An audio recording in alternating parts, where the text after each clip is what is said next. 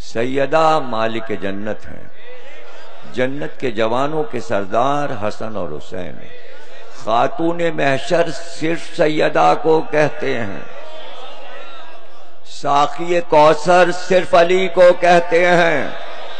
जन्नत के जवानों के सरदार सिर्फ़ हसन हुसैन है।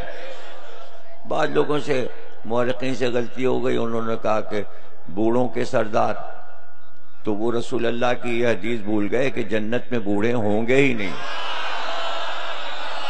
बूढ़े भी जवान होके जाएँगे। अगर बुढ़ापा जा रहा है जन्नत में तो ऐसी जन्नत से क्या पाए बुढ़ों का शबाब होगा। अगर ये न करते रसूल अल्लाह और ये न कहते तो क्या होता आप सोचिए। इसलिए कि जब तक ऐलान नहीं हुआ था, और ये बात पता नहीं थी लोगों की। तो अब्दुल्ला इब्न अब्बास के वालिद, अब्बास बिन अब्दुल मुत्तलिब, जो हुजूर के भी चचा है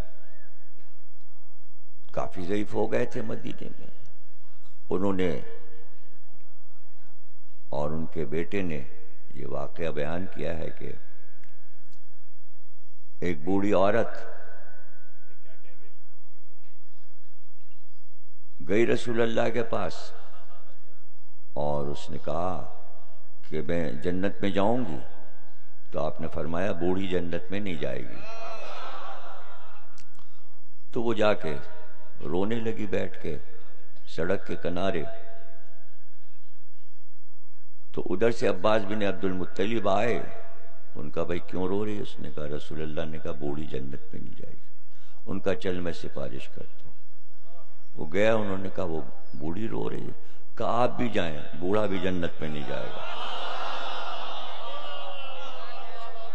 तो अब जब अली आए तो मसले को हल किया। उनका भी रोने की बात नहीं है, सब बूढ़े, बूढ़ियाँ, सब जवान होकर जन्नत में दाखिल होंगे। जन्नत में जवाल नहीं है। ज़िंदगी का जवाल, उम्र का जवाल वहाँ नहीं है। अगर जवानी ही जवानी ना होती तो ये क्यों कहा जाता कि जन्नत के जवानों के सरदार हसन और हुसैन? तो सबकी तलब जन्नत है।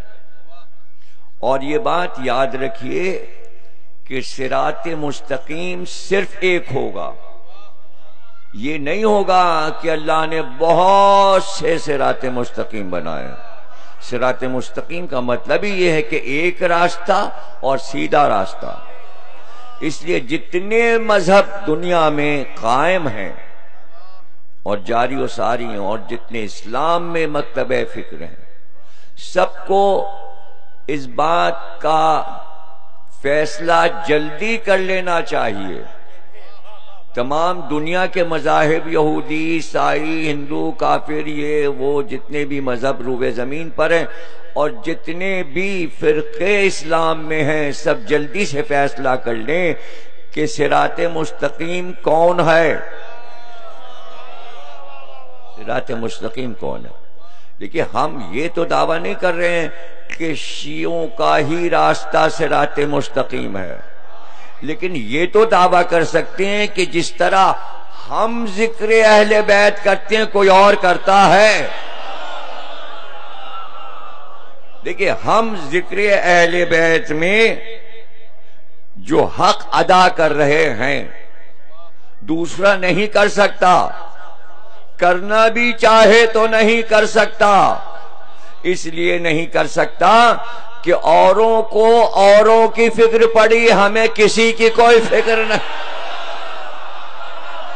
हम तो बस बस अहले बैत और बस अहले बैत। हम तो एक ही हदीस नज़र में रखे हुए मैं दो गना कदर चीज़ें तुम में छोड़ रहा हूँ, हदीस रसूल। एक कुरान, एक अहले बैत। हमें अहले बैत ही अहले बैत करते रहना है। इसलिए कि कुरान तो मुजस्म होकर कौशर के किनारे आएगा, अपने असल पैकर में। जिसे आप कुरान कागज़ पे देखते हैं, इसकी एक हयात है। और ये एक नौजवान की शक्ल में कौसर के किनारे आएगा, जब अहले बैत पहुँच जाएँगे। जब अहले बैत पहुँच जाएँगे, यानी दरबार नबी लग जाएगा, और उस वक्त कुरान दरबार में आएगा। और जब नबी के दरबार को सजा हुआ देखेगा कि अब सब मौजूद हैं। सब आ गए। जिन जिन को शहीद किया था, मारा था, जहर दिया था, अब महशर के फैसले के बाद सब असल जवानी के साथ, रसूल अल्लाह के साथ आ गए। और यह है रसूल अल्लाह के दरबार की बहार। तो कुरान दाखिल होगा। और दरबार पे एक नज़र डालेगा और फिर कुरान आवाज़ देगा। इसलिए कि जब बादशाह का दरबार लग जाता है तो कसीदा निगार शायर आकर मुबारकबाद देता है। जब दरबार लग जाएगा महशर के फैसले के बाद सरकार का और तमाम अहले बैत जमा हो जाएँगे तो कुरान आएगा और फिर वो कसीदा दरबार का शुरू करेगा।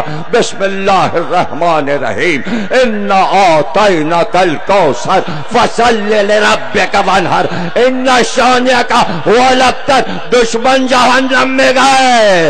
ये कौसरी कौसर।